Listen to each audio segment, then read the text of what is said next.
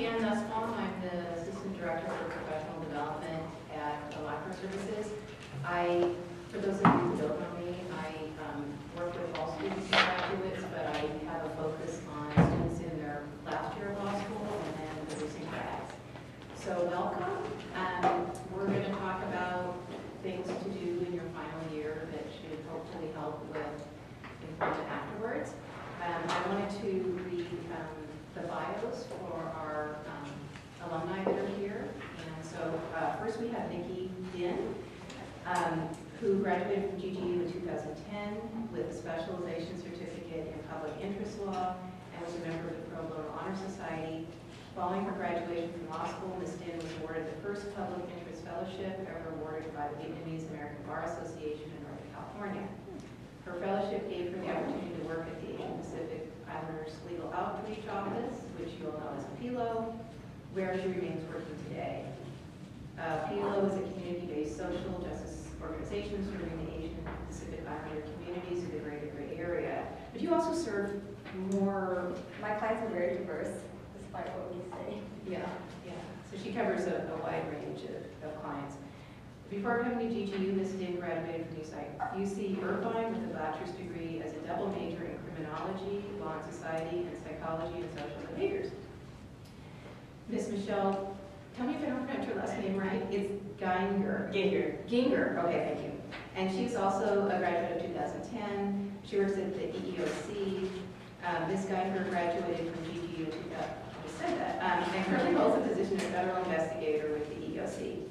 Uh, She's responsible for enforcing federal laws that make it illegal to discriminate, discriminate against a job applicant or an employee because of race, color, religion, sex, national origin, age, which is 40 or older, disability, or genetic information. Uh, Ms. Ginger. Ginger, thank you. Ms. Ginger began her career at EOC as a legal intern in her uh, 2L year. Uh, While at GGU, she worked as a teaching assistant and was part of the Leadership Development Council. Her current goals include advancing her career in the federal government, focusing on employment law and alternative dispute resolution. Um, Kayla Hirschbein is a 2011 graduate. She's with the Institute for Fishery Resources. And she received her award for Outstanding Public Interest Student of the Year. Was that in your last year? Kara? And she um, graduated with a Public Interest Environmental Law Specialization Certificate. She's currently employed as an attorney, well, those are two certificates, right? Public Interest and. She's currently employed as an attorney and policy advisor at the Institute of Fishery Resources and the Golden Gate Salmon Association. A water law and fisheries policy specialist, Kayla enjoys practicing environmental law from the fishing industry perspective. IFR is a nonprofit organization that represents the interests of small family commercial fishermen and fishing communities along the Pacific coast by working to conserve and protect the fisheries resources on which they depend. Similar- Similarly, GGSA, also a nonprofit, is fighting to restore California's historic salmon runs for the communities and businesses that rely on salmon as a long-term sustainable commercial, recreational, and cultural resource, which I support because I like to eat salmon. While while at GGU, Cal was the Pacific Region Editor of the Environmental Law Journal, a Law Leadership Fellow, and an active member of many SOARs. In her current roles, Kayla also works as a supervising attorney for several spectacular GGU interns. Of course, they're spectacular. Um, Ms. Jeannie Leptrick, did I pronounce that right? I've known her forever, but I can't, I can't pronounce anyone's name. She's with Harkinson, Toon, and Castlewick. Ms. Leptrick graduated from GGU in 2011, is currently employed as an associate um, doing workers' comp defense, which includes representing self-insured corporations. While a law student, Ms. Leptrick held the position of secretary for the Student Bar Association and was a teaching assistant. Jeannie also interned at various law firms around the Bay Area, including Idell and Seitel, Bracamontes, and Bla- Blasek. Thank you, a plaintiff's side litigation firm. Before law school, Jeannie graduated from UC Santa Barbara, where she double majored in law and society and communication.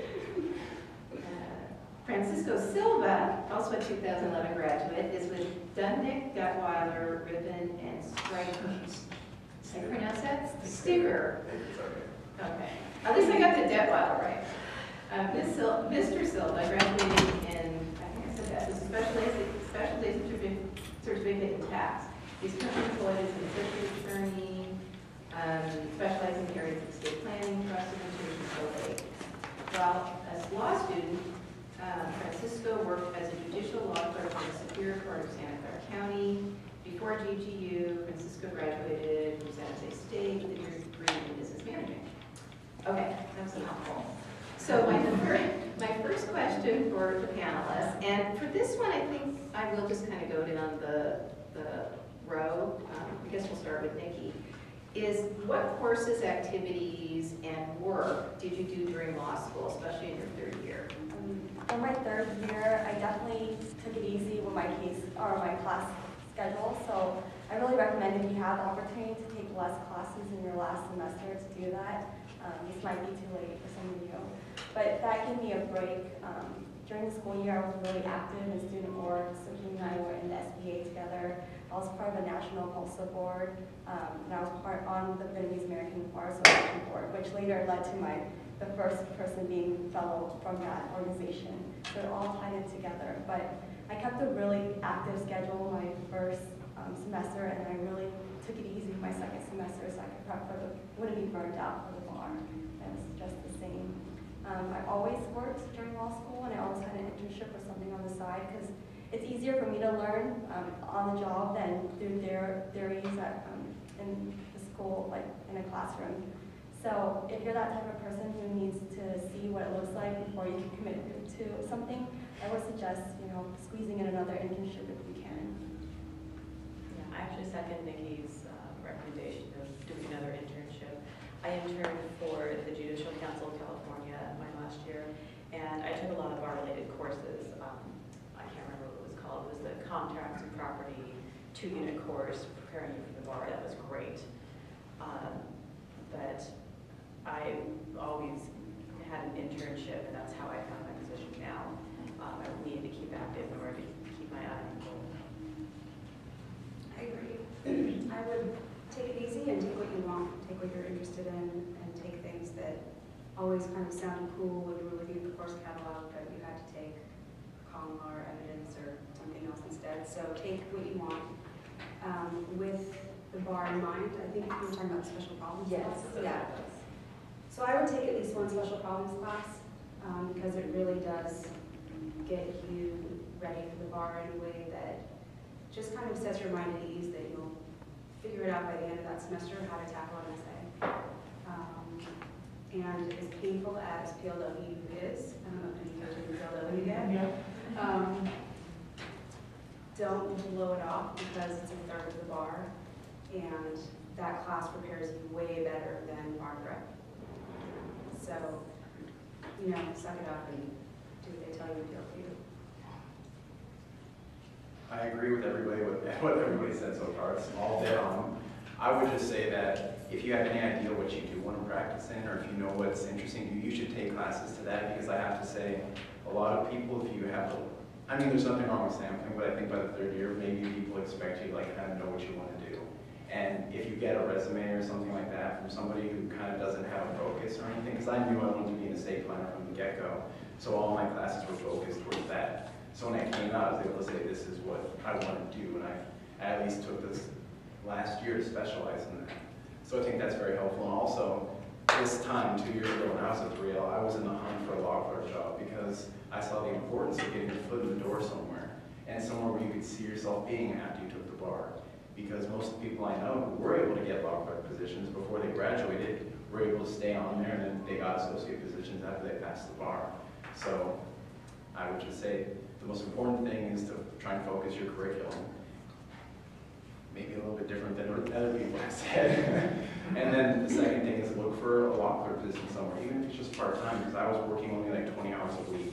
But it was fantastic experience, and they liked me, and it lets you, and from the firm's perspective, they're incurring less expense training you, teaching you things, because your billing rate's lower, or however much time it takes is much lower for them, so they can invest in you. And then once they see how you fit into the dynamic of the firm, then they're like, well, now we can take you on as an associate.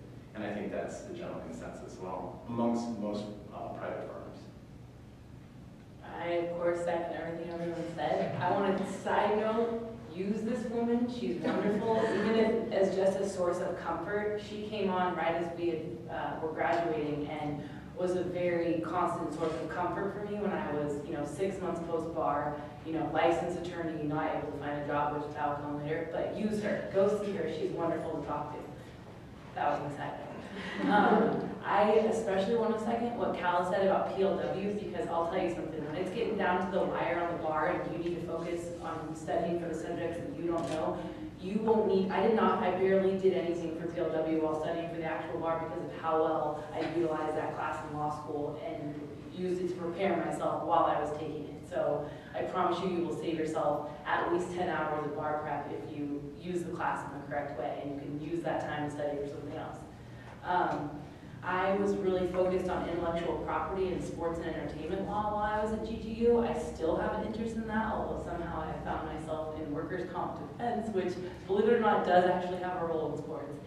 Um, and so, because workers' comp is everywhere, I didn't know about it until I started working for it, but literally the school was insured for workers' comp, like everything, anyway, that's different. Because most places have workers. Yes, but um, I would, as Francisco said, I would definitely try to take electives that go towards an area, if you think you might be interested in it. Um, And unfortunately, it might be too late, but I would, like, if you can, have it so that your last semester you're taking less courses. I think I was taking eight units my first semester and seven my second because of summer school. And I know it's too late, but if you can work it so that you do have a lighter schedule your second semester, that will make a big difference. It'll allow you to rest before bar prep. And no matter what anybody says, you do not have to start studying for the bar right now. I'm sorry, you don't. There is no, no matter what anybody says, aside from the special problems courses, and I know that some of, this is a question coming later, but some of my friends took the um, advanced with Muhammad, the writing class, which is like an advanced version of PLW. If you have a way to get into that, they all felt like they benefited. Cal, were you in that? No. They all felt like they benefited greatly from that, so if there's one thing, if you could try to get into that now, I would suggest doing that. I didn't, but don't start setting the bar other than that. So my next question had to do, to what extent while you were in law school, especially your last year, did you reach out to attorneys and professors that you knew to talk about, you know, post-bar opportunities? And talk to new attorneys, sort of expand your network, and in what ways did that help you when you were finished taking the bar and had to figure out how you were gonna find a job? I guess I'll start again. Um, I definitely believe in networking, and it's not just about making superficial relationships with people you see a lot. It's really to find people you mesh with, some people that have, find people who have similar interests as you. Um, I really enjoyed eating in the city, um, and so a lot of times I would just have lunch with people I found an, interest in what they were doing, have lunch with them, and then got to know them as a person, not just as an attorney or a resource. Um, networking really helped me um, throughout my career, and it also, you know, the moment I got my staff position as an immigration attorney at Apilo, I immediately networked out to a bigger um, audience of immigration attorneys. Now, now I need to get to know everybody that does different types of immigration work, and that was so helpful in, in my career, even a year or two after I graduated. Um, professors are also a great source of um, if you need to find a job afterwards. I had a lot of um, colleagues during school who found their really awesome internships just through like the random luck of a professor knowing somebody. All of a sudden, there's a Ninth Circuit, you know, clerkship open, and she was able to get into that. Um, I got one of my first internships um, because Jonathan Chu, you guys know who he is? Um, Ruth Astle is an, an administration judge in Oakland, and she just is an alum here. She just happened to have an opening, and she didn't advertise it with anybody. But he happened to know that I was looking for an internship, and he's like, oh, why don't you just shoot her an email? Well, that email led to a position there, which led to me meeting another judge who was connected to my current organization, gave me a great referral. Um, and that's how I got my foot in the door at ECAG Outreach in the first place. So all these connections, even though it doesn't make sense when you first meet all these people, it ends up working together because the network in San Francisco is so big and everybody seems to know each other in some way or another. I um, was fortunate to have a fantastic supervisor through my internship with the EEOC, and I maintained um, sometimes an email, sometimes a phone call, sometimes a lunch out um, type of relationship with her um, through the, what, two years between my internship with her and um, getting my position at the EEOC, and she now she's my coworker. Um, she's also great in that she kept in contact with me as well and is very dedicated to making sure that her interns um, have a good experience. But from there, once I received this position, um, I also immediately started um, getting to know other um, investigators, attorneys, and mediators, um, both within my organization and with the um, firms and uh, solo practitioners I would mostly deal with. And now I actually have a Rolodex of um, business cards that I can go through and have casual relationships with most of them. Um, and and, uh, and even now, um, I I actually get um, phone calls from GGU grads um, asking me about internship opportunities with the EEOC, which um, if anybody's interested, I can give you some information about. Um, so it's just a working relationship, and don't be afraid to just approach someone that you casually know or have a some sort of connection to. Um, everybody is completely open, and they've all been there to help you out. I agree with that. Um, I also think, for me, excuse me, um, uh, I really, not purposefully worked hard to develop relationships with professors, but kind of just ended up being something that, uh, and uh, was very helpful for me. I got my internship my second year from a professor, and that's where I'm still working now. Um, And I did other things over the course of, I studied abroad um, between my second and third year, and I did other internships, but I always kind of kept showing up at this place, and so that's why I'm still there. But, um, uh, and I, after an interview, I would always follow up and try to take whoever interviewed me for coffee or lunch or something, and that I think was helpful, because I work with a lot of them now, professional capacity, and we've developed kind of a personal relationship too on the side, so that's been really useful. So I would say follow up and be really persistent. Persistence is what gets you a job, especially in this economy. And when you followed up with these folks, would you just go out and have a ca- casual conversation to kind of increase the relationship that you had? Or were you specifically, during your last year, were you specifically talking to them about possibility of working with them? or- It was more informational because they had already decided to hire somebody else. um, Or, you know, how did you, yeah, it was basically informational. How did you get this job? And what did you do? And what did, you know, compared to what I said and what I have, what did the other person you hired And um, what can I do to make myself more of a viable candidate or something like that? Um, And now I'm glad I didn't work for those places because I love where I am now. But um, I think it was good to reach out and to be somebody that was visible. And I, I work in the environmental law community, and it's a very tight community, and so um, it's nice to have those relationships, and it's gone back now years, just from when I was in law school, so. Basically, be persistent. Uh, I agree, it's a theme. Uh, I have, to just have to say, I use uh, law career services a lot.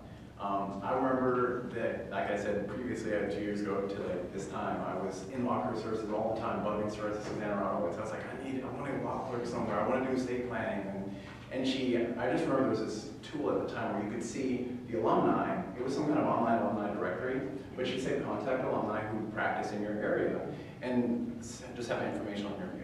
And so I remember I went through and I saw some other attorneys who had graduated from here who practiced in San Francisco and sent them emails, of course, like who would turn away just a law school student wanting to just get some information?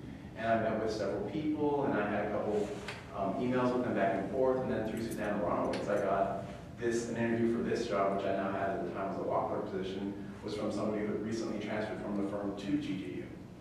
So I really think you really have to be diligent and do those informational interviews. I remember in PLW, I mean, Caleb were in the same class, the teacher said, what's your biggest pet peeve with GGU? And they were like, all they tell you to do is informational interviews. and I was like, don't knock those, those are so helpful. I mean, and after I accepted this law clerk position, a month later, one of the guys who I did an informational interview with said, hey, we have a spot open for you, would you like to come in? I said, thank you so much, but I already accepted a job somewhere else. And you just can never sell yourself short. Like, you, you really have to just go out there and meet people and talk to them because you ask them about themselves and who doesn't love talking about themselves. And then you get to elaborate, oh, I'm the same, or oh, like, these are my interests too. And they, and they always have good advice for you. So I would never, like, turn away from information interviews, just pursue those as much as you can. And, um, and always follow up with them and just see how they're doing. And that's basically how I would say to do it if you want to try and get in somewhere. And on that note, because you've already heard about the informational interviews and all that, I'll tell you, I am more of a social person. I like to make connections with people based on things aside from the law, whether it's the Giants or really any sports team in But it's, I, what I would recommend, aside from all of that, because I agree with all that, I did all of that, is reach out to your old employers. I am still in contact with every single attorney that I interned for during law school. I still get invited to happy hours. That's a great way to reconnect. When I was applying for jobs post-law, the, the, the main, main important reason you want to stay in contact with these people is because they will be so much more inclined to give you a glowing review someday when a future employer calls them. I can't tell you how great it was to be able to because I knew I was still in contact, to be able to shoot him an email, even three months down the road, if I had talked to him three months and say, hey, just so you know, so-and-so from such and such firm may be contacting you for a review. But in the meantime, reach out to these people, hey, hope all is well. You never know, maybe they're having a good day, maybe they'll be like, hey, you know, the firm's going out for drinks, why don't you join us? You want to stay connected with these people, assuming you had a good relationship and assuming they're people that you like spending time with. I was fortunate enough to have at least the supervisor at my second internship, which I ended up staying at for three semesters, which we'll get to later on. But um, sh- she and I are still in touch. We're going to meet for drinks in a month. We're firms. We're like like good friends actually. We keep each other posted on our personal lives and our work lives. And you never know when those relationships will come back to help you, which is kind of what all these people alluded to. That you just want to always, obviously, never burn bridges. We're smarter than that. We made it through law school, two years of law school. Just always keep. You guys will survive your last year just always keep open the lines of communication, whether it be socially or professionally. Let me just check my else. Yeah, so that would be my, aside from all the professional stuff, socially stay in touch with. Now, one thing I wanted to add to what Nikki said is about professors. Um, One thing that the school is trying to do is, you all know a lot of the professors from the classes you're taking, but a lot of times they have a background and they have connections with people they know in different areas of the law where they practiced before they came here. So we're trying to get a more comprehensive list that you can look at. And then if professors have actually practiced in certain areas that you don't know that they have, you can go and talk to them and say, who do you know, and who can I maybe go talk to, and you give them more, you know, background about this area of law, or whatever questions you have, um, that they can help you with, um, that may be in an area that you're interested in or want to get into. Um, So keep an eye out for that. Um, My next question had to do, sort of, is there one or several things that you thought were the most important to do in your last year? And maybe added with that, are there things that you didn't do which you really think you should have done in your last year? And we don't have to go down the road, let's let whoever is ready throw something, throw some things out. I'd say relax, it's possible. Um, and really don't forget about the bar. Um, you hear from professors and from other people that you need months and months and months, and you should be doing five hours a week or 10 hours a week starting now. And I think you should enjoy being with your friends and enjoy being with your loved ones and go on fun weekend trips. And, you know, don't take this last year too seriously. You do your work, but um, save your energy. I was so burnt out. I was really worried about tackling BARBRI because I was so burnt out. Um, and I found this great energy, and I actually really enjoyed studying for the bar, which is kind of sick. but um, but enjoy yourself. This is you know your last year of law school. You've, you're almost done. You've it's a huge accomplishment. Enjoy it and um, try to relax. Because once you start working, that's it. Yeah, your life's over. You got law school, I sorry. like to second Kayla. I, I totally agree, you have to take it easy. I mean, BARBRI, if, if, I think most of you will end up doing BARBRI, but, um, that is so structured, so comprehensive. I mean, I didn't touch studying. I took, um, uh, Crim Pro, I think, as my special problems thing, which I thought was really helpful, but it really helps you just learn how to write essays. And it really helps a lot of people who maybe don't write the best essays, but BARBRI's so comprehensive, like you don't have to worry about the bar. They're gonna hold your hand and take you through start to finish, everything you need to know. So don't get caught up on the stress where people are telling you you have to start studying like Kayla said, like absolutely not. It's, unless you think that you're absolutely like, like have no competency in something, maybe, but like even then, I mean, you're, you'll be fine. Just make sure that once it starts, you just stick with the schedule that BARBRI sets for you and it's, and that's when you can put it off. But spend time with your friends and family now. Do things you want to do now, because once you start BARBRI, that's over. Like, your life is over, like, basically. So. For It's, for ten weeks, it's over, and then you have the waiting, so that's a whole different battle. So, I would think long and hard about, I, like I had mentioned earlier, I was doing, during my last year, I was doing my second and third semester in a row with the same firm. And at that time, I was still very interested in intellectual property because I thought that was gonna be my avenue into sports and entertainment, which clearly it wasn't. Um, so I would think, think hard about, you know, there is something to be said about having a resume when you get out of law school and, oh, these people kept you on for three semesters, they must have really appreciated what you did for them, and that, I was able to speak to that in my interviews, but if there is some other area of the law you think you might be interested in, or even something that you just kind of want to do for fun, go do it. I'm, I'm not saying I would change my experience, other than I would definitely try to clerk for a judge or get, or intern at the DA's office, because that opens up a whole new world of opportunities once you've graduated and passed the bar that I feel like I didn't have because of the experience that I lacked, and I had all private sector experience, but again, I knew I wanted to practice private sector, so it was fine, but just think about that, think about maybe opening up to something new, or remaining where you are, if they'll allow you to. There's benefits to both. Going off that, I, I wish I had more, a more varied experience. I only worked for government agencies, um, for the Judicial Council, EEOC, um, the, San Francisco prisons and, and Law Care Services. Uh, but I only worked with public agencies, and I wish I had that private sector experience, because now if I wanted to transfer to the private sector, it's very difficult for me to do so.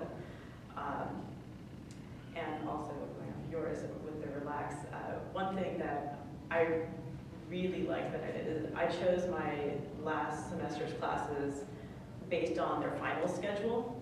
So first, whether or not they had a final, and then second, when the finals were, so I wouldn't be stressed out. Um, I think I had two finals that year, that semester. It was great. Um, and then third, get all of your ducks in a row before um, graduation. So anything financial, don't worry about your loans. Um, yeah, they're gonna be there after, after the bar, that's after the bar. One of my peers had a um, housing problem at that time. He had to commute from Sacramento to the city every day for some reason to do bar prep and totally burnt him out. And um, get, this is gonna sound funny, but get your um, food schedule uh, situated. One of my friends did the Nutrisystem thing where she just had her food, she put it in the microwave, whatever. It worked for her, she was glad she did it because she didn't have to stress over food. I think that's a bit, a bit much, but, you know, the little things you don't have to worry about. Just go to Toasters every day. I definitely think you should take it easy your last semester if you can, um, and you have the room in your schedule to do that. Um, something we haven't mentioned is the professional responsibility exam and also your moral character application. I would suggest to do it now. Um, I had some friends that did it later, and so even after they passed the bar, um, they could not get sworn in. They just, their application was not uh, finished yet, or they haven't received approval for it yet. So whether you um, want to think about those things now or not, um, I think applying in the winter time during your break is a genius time to set apart to do it. Um, and also planning to take the professional responsibility test um, now if you can. Um, I had to take it like more than once. So you don't want to take the bar and then have to study for it for the August test. It's just the most draining um, experience. Um, I didn't do that, but I had some friends that you know decided last minute to take the PR test and then failed the first time, had to take it after the bar in August, and you know I ended up. it wasn't fun. You know, I was off vacation and they were studying again. I studied on vacation. There's something to be said though. I was failing by significant amounts. I was sick when I took, I took it three times, also did that. That stupid sixty-five, oh. Anyway, there's something to be said though for bar prep because I studied on my vacation post bar, literally took the bar and three days later I was studying for the moral character. Shoot me. I laid on the deck in Tahoe, put my head in my book and told my mom, I think I'm gonna learn by osmosis because I cannot look at this anymore. But anyway, I, we, my friend and I, who also failed it two times, we killed it by like thirty points just because you study for the bar, you literally learn how to take those questions. So if you don't pass, it's not the end of the world. You'll be fine, you'll pass it by flying colors, I can pretty much guarantee it.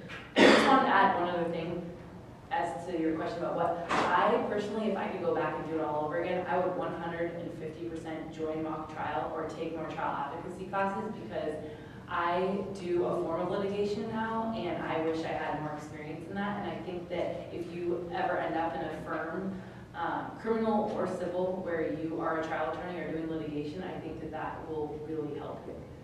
So if it's not too late, I would definitely, if you have any interest in being a trial attorney, I would definitely join those classes and programs. Before my next question, uh, Nikki reminded me of something about the moral character. I, I would second that you do that as early as possible. I work with some graduates who um, do, do it, did it kind of late, but also you don't know who you're gonna get to be looking at it, and some of them take a long time to review your materials. So I work with graduates who have passed the bar, and they, it's two or three months, and they still haven't um, gotten their approval on moral character, and so they're just like waiting for all that time, and nobody knows, you know, for sure if they, you know, when they're gonna get it, and so it's hard for employers to go ahead and hire you, to do that as early as you can. Um, my next question had to do more with post-bar, and I know you've sort of addressed some of this, but if there are some things you think that, um, since you have this audience right now, um, you would recommend that they do after they've taken the bar? I think if you can, to take that break, you know, give yourself that break. And it sounds like we're being really nice to you. This is probably the first time in your law school career people are telling you to take it easy. But right after the bar, you're going to go in that mode to get the job. Um, November is when the results come out. And after then, everybody is, you know, really eligible to be hired. For a lot of firms, they weren't eligible for before. Um, I was just talking to Michelle, after school, you don't have summers anymore. Um, you never have this opportunity to really do this anymore. Um, this is your life as well. You guys are in the prime times of your life. So get something that you wanted to get out of the way during that post-bar period. Um, I wouldn't, I didn't, I took a bar trip and I didn't have a job lined up and I knew, I knew it was gonna be stressful later, but, um, I ended up applying for my fellowship abroad, um, through the connections I had, and I was able to get a job lined up later. So I still gave myself that time, and it worked out just fine. Um, a lot of my friends gave themselves the time, and things will work out later. But um, you never get that time again. So do yourself a favor, do your partners a favor, maybe your family members a favor, and give them some some like normal you time. Yes, um, after the bar, I took all of August off. I literally just sat there, um, recovering, and it was great. I told myself I wouldn't even think about seriously looking for a job until after I came back from my bar trip, which my mom and I went on for September. Um, and when I came back, that's when I was seriously looking for a job hunt. Uh, I was calling people every other day, um, looking online, contacting welfare Services all the time. And um, after one month and very few bites, I went and contacted my my supervisor from the EEOC, and she said, "Well, if you're on the if you're still looking for a job, um, come intern with us again." Again, after you graduate from law school and take the bar, and um, when you can leave, you can leave, and you can choose your hours, whatever. So I went there, I was working for free yet again, um, for a month, and then finally a position opened up. Um, but I knew not to stress. But at that point too, I gave myself a deadline. I said, if I am not, if I'm working here um, by the end of the year, so for another two months, and there's still no job in sight, then I'm to leave and go somewhere else and try to fish other waters. Um, but it worked out. I would, I regret not going on a bar trip. I wish I'd gone on a bar trip. Um, a good friend and his wife, like, sublet their apartment and backpacked around everywhere. So I wish I'd done that. But I'm going to plug um, Leor and the Bridge Fellowship because I did that and it let me stay at my job for those few months, those few critical months where you like have no money coming in, nobody's gonna hire you because you're not a lawyer yet. And um, you wake up every morning, still dream, like reciting rule statements in your head, you are. Um, So I would highly, especially if you're interested in public interest, which I was, I never was interested in working for a firm, I never sought out those kinds of opportunities. Um, The Bridge Fellowship was great, and a lot of my friends did it, and um, it really helped you feel employed and get, start to feel like it will, you know, like you have a job, and maybe it will turn into a job. Um, So I would talk to Leeward about that. And where I work, we'll take Bridge Fellows. Yeah, Just so you know what the Bridge Fellowship is, and you can still take your bar trip to some extent. Yeah. It's, um, that, it's, and every year it's gonna be a little different, but for instance, this year, um, we're, we have the fellowships for three months, so if you have a job in a nonprofit, uh, agency or government agency, um, then we give you a certain stipend to kind of help you, um, you know, get some money in while you're doing the volunteer job for part-time. And it's running September, October, November. Have another one for December, January, February. We might have one for the spring as well. So it gives you that opportunity to volunteer, get more experience, get confidence, get connections and things like that. But if you get something, if you have something lined up um, beforehand, the application process is really easy. And so you could still go on, you know, a pretty good bar trip and then start your um, volunteer in. A I just, quick question, how many of those Bridge Fellowships are? It's right there, but it's, it's in number. So do you, what is it this time? Um, we have seventy-five to eighty. Uh, we're still shaking out exactly how much, how much funds we have this year. We constantly look to expand it because we want to make sure that the program remains robust. Uh, but there are quite a few. I will tell you that I don't foresee there being a problem this year turning anybody away, and I that being a problem next year. Problem, I think, in our office and for the school will be to ensure that students actually apply for these things. When you say seventy-five, so like this time we had maybe twenty-five? So for this, this September, October, November. call it the fall phase, September through uh, the end of November, there's, uh, there's about 22. But um, many of those people applied after the priority deadline. So again, it's not an issue of turning people away. And you know, I work with a lot of nonprofits, so there are sister organizations all over the Bay Area, and everybody would like to have Bridge Fellow. Um, everybody could use the extra help, and we actually give you guys a lot of hands-on, you know, direct client representation type of experience. So it's well worth it if you haven't had a lot of experience during law school and you're looking for to really build that, um, you know, your resume up a little bit more for the final push. And it helps when you're going out and you're saying, you know, people, lawyers are saying, well, what are you doing? You're saying, well, I'm working in, you know, a PILO and, and doing X, Y, and Z. And, you know, you seem like you're really engaged with your profession. Um, So it's, it's a really good thing to do. Um, I didn't take a bar vacation. I took, I think the bar last day was like 29th of July. My birthday was August 1st, and then I went back work two days later.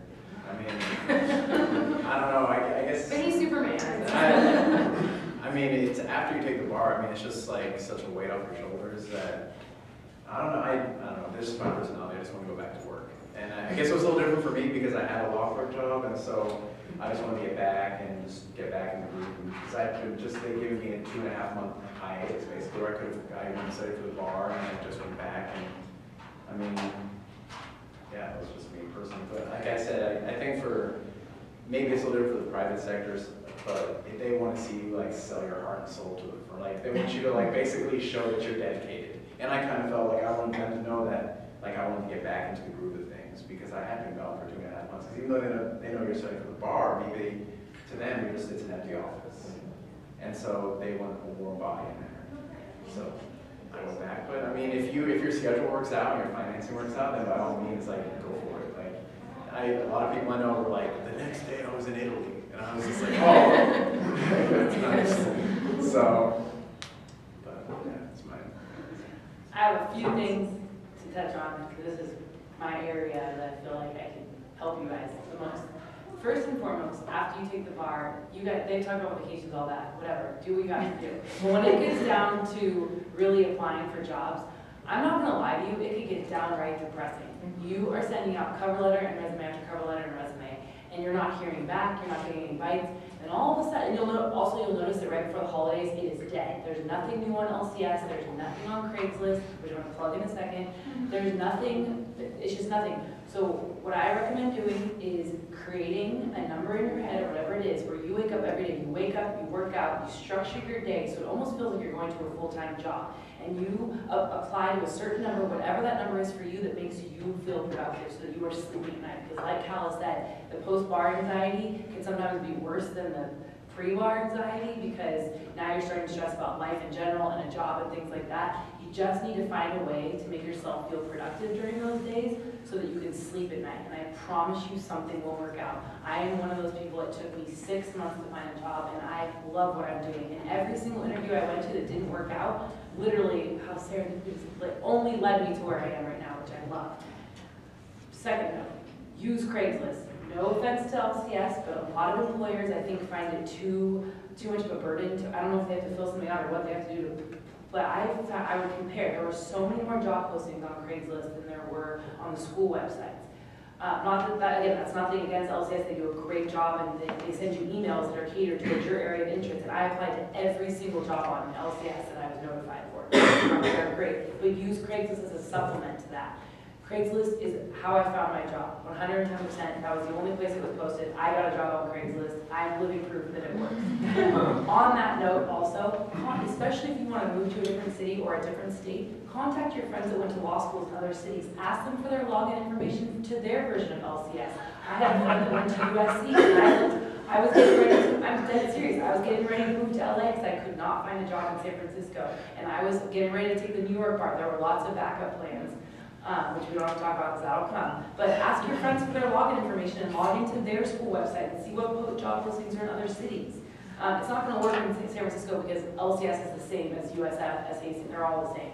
Not to interrupt, not to interrupt Jeannie, but um, if you don't have friends in other cities, we have a, if you decide you want to we have a reciprocity agreement with other ABA schools where you can essentially do that. So you. You don't need to fraudulently impersonate your friend. Sorry, I I don't know if I just told you to do something my friend literally opened up, it was her idea, she's like, here's my login if you want to look. She already had a job, she wasn't using it for anything. I mean, you're not gonna offend anyone by asking for that, obviously. Just- Sometimes these, I, you know, you never know, it's a piece of advice may come in handy sometime. Um, two more things. Use the time when you, it's six months and you're like at your lowest low. I had to back in with my aunt and uncle on the other side of the city because I couldn't afford my apartment anymore. Like, SHIT may hit the fan and you may hit rock bottom, but I promise you, GGU is there for you and will help you. This woman, that man, everyone was a huge source of even just comfort. And you will find something because people all over the city are GGU alums. People are looking at our law school like, I'm so proud to say that I came from GGU because all of our people are recognizing how successful our graduates are becoming. So I did an internship at Bare Escentuals. It had, you did not need a degree for this. It happened to be posted on the school website. It was literally organizing files. But let me tell you something, still in contact with all of them. My cousin's looking for a job. I contacted my old supervisor at Bare Escentuals, got her resume in. You, you have to utilize, and on that note, apply to anything and everything. I have hundreds of cover letters on my computer. I applied to paralegal positions. I applied to legal assistant positions, because you never know. Maybe you did it as a paralegal before you passed the bar, and they want to hire you because you do such a good job. So apply to anything and everything. And lastly, use this opportunity to figure out what you want to do. Because I gave up on the sports and entertainment for a while, and I figured out through all the interviews I went on that I definitely wanted to do defense. That's how I ended up where I am. I was able to focus my search more towards my area of interest, so, sorry. But that's, And also, um, be creative about how you go about looking for a job. One of my best friends from law school, um, she started calling around to different criminal defense firms. Um, she wanted to be criminal law forever, and then just no one was hiring. So she decided to branch out her second choice, was family law. She had never worked in family law. Everything she had done was with DAs. Um, So one attorney said, I have no openings, but you can come with me to court. So every time he would go up um, and get up and stand in court, uh, he would say, I am so-and-so, I'm an attorney for such and such, and this is my assistant Chelsea, and she is looking for a job, she's a new graduate. looking for a job." Every single time. After two weeks, um, opposing counsel actually approached her and said, that's really interesting, I've, I've um, had this position open for months, I've had 70, 70 applications, I don't like any of them, here's my card, she was hired the next week. Oh, my. Yeah.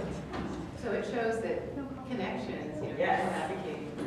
And she had just called this guy for the phone. Great. So do you have any sort of last words of wisdom, and then we'll open it up for questions? Definitely, I wanted to piggyback on the talk about employment. So at Appeal, I'm on the hiring committee, and so just to give you guys our perspective, I, for PIPSA, we get like 200 applications. It's mind blowing how much time it takes to go through all these applications and make a meaningful selection. Um, what stands out for me is if I had met you already at a GGU event or another networking event, I will spot you out and I'll be like, and you would write on your resume. And then I met Nikki the other day. It was great to talk to her about Pilo. Easily puts you in my guest category. Um, things like that helps a lot. When I just see people resumes, I don't have, I don't know who you are, I don't know what your personality is like. It's really, it's a big risk for us. Um, so put yourself out there. If you are in a position where you need to, you know, now, you know, find a job and you're six months down and you're feeling really low, start going to those bar association events, start finding people that you like and you want to be like, and start mingling with them at these um, bar association events. That's what those things are there for. Um, people are really, and you've changed, you know, since you started law school. You guys are now people who have different types of aspirations than you were three, two years ago. Um, you're going to meet people you really honestly like at these bar association events. They're not just going to be people who you don't identify with anymore. They're going to be people who you have the same interests with, like, um, gone through the same, you know, life stories as you maybe. So I would take the opportunity to make those friends, um, network, um, and then you never know where they're going to take you. All the, everybody here has the same story. It just it sounds like serendipity, but serendipitous, but it's actually the way it works in our legal field in San Francisco and the Bay Area. Um, When you do actually get an offer, and it will happen, don't be afraid to bargain for your salary. They're expecting it. Um, It's not going to offend them, and very few people actually do so um, when it is really on the table. Uh, I went to a um, a legal event where I learned that something like only 17% of women actually negotiate their salaries, and I find that number appalling. Um, and it's, it's possible even if, even if it's your first job. Um, That's all.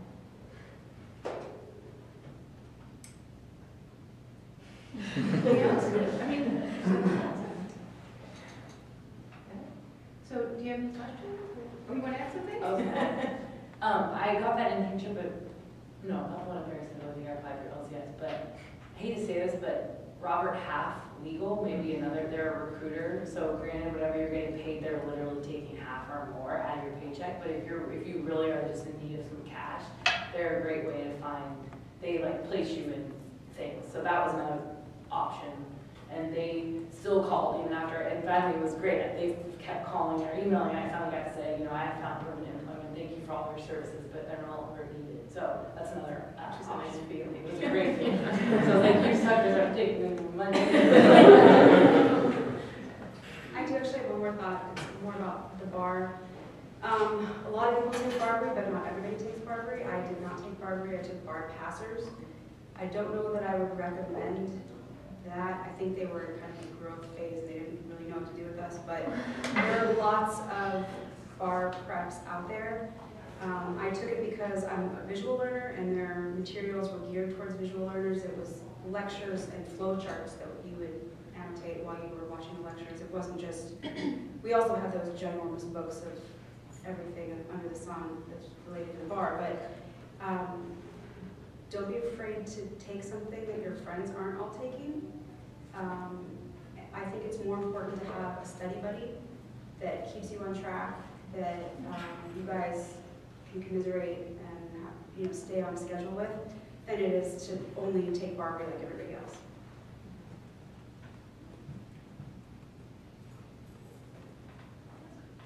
Um, so thank you guys for coming. Um, so I'm like a journey phobic. Like I can talk to students, professors, no problem, but as soon as like someone has like some letters behind their name, I completely freeze up. And I can't think of anything to say and it's, I feel like I'm never gonna get a job ever. So I, I just, any like entry level, like remedial networking tips, You're definitely talking to us now. We all have letters. Yeah, I don't think that's true. Nico, I have letters after my name. You and I talk all the time. Yeah, you, you, you've been in the buildings next door. That mentality that you have, Leora, you need to apply to everybody else, um, regardless of what the last, you know, letters of their names would be. Um, We're people too. You are, you know, we're the same people. You know, you're gonna be an attorney one day, and you're still gonna be you, um, cool and, you know, approachable. So talk about things that aren't legal related if you're not interested in that kind of connection. Talk about the weather, the food, um, the Giants.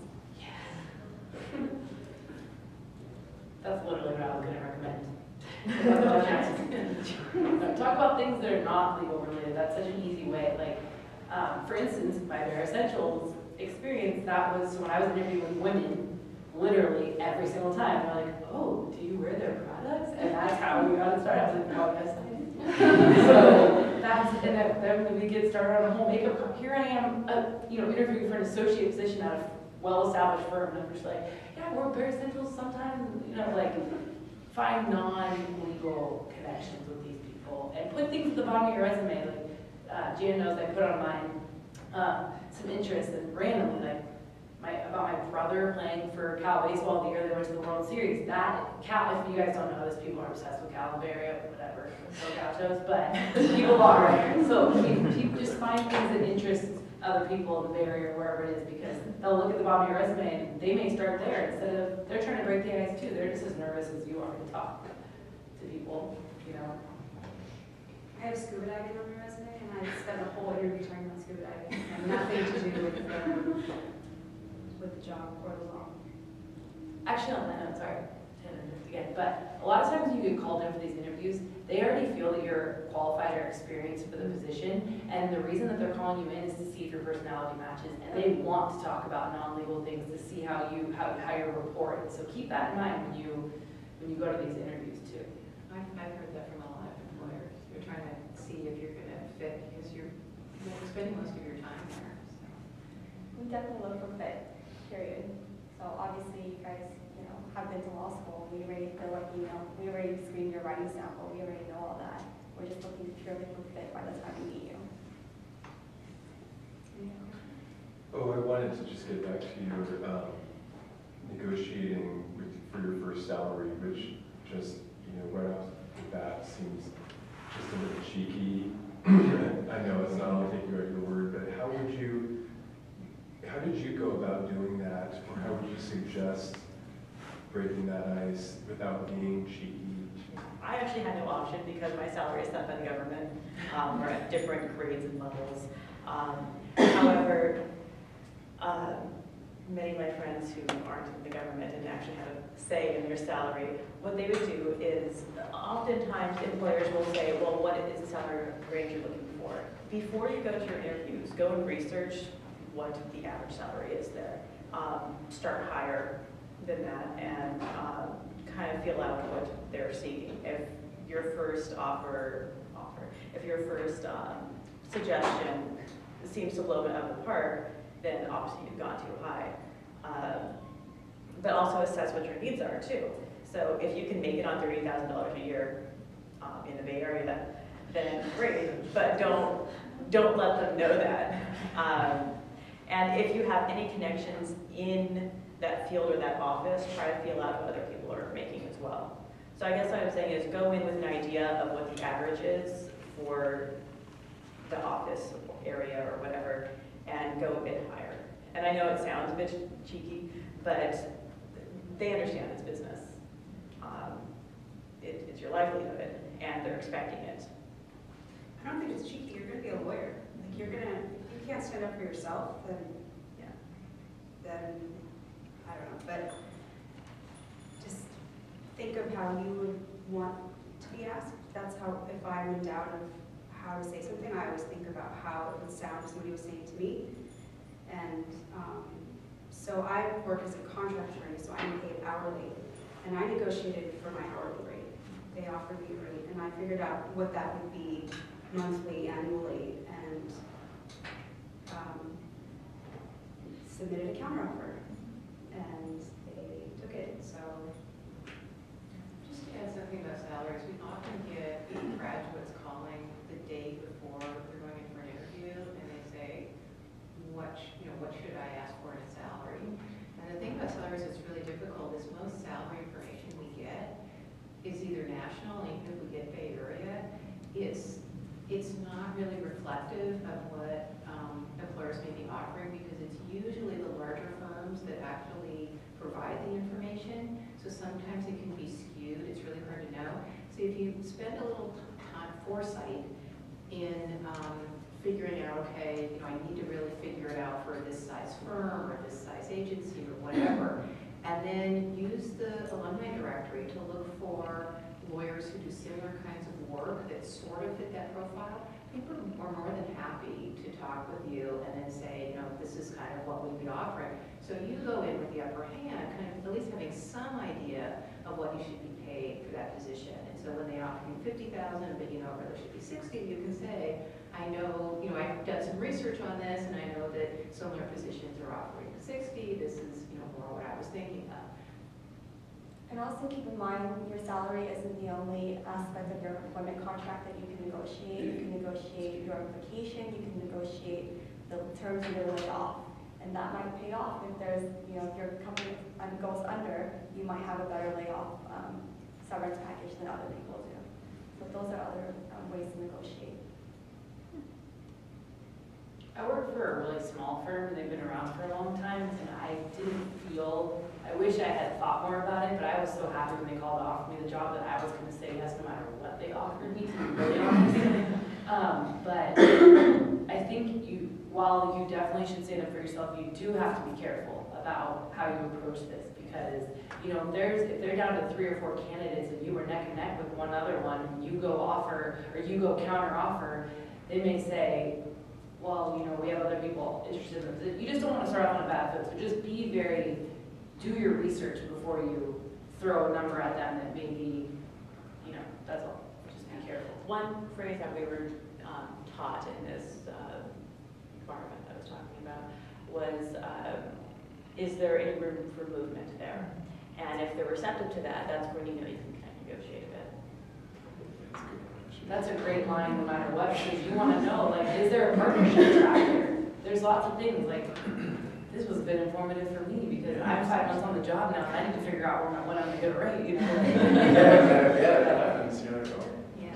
That's actually a good question to ask in interviews too. Is there room for movement? Um, a friend of mine said that her dad, who is a very um, successful businessman in finance, said that um, one question you should always leave an interview asking is, you know, can you think of anyone else I could talk to, or anyone else that you think I should talk to?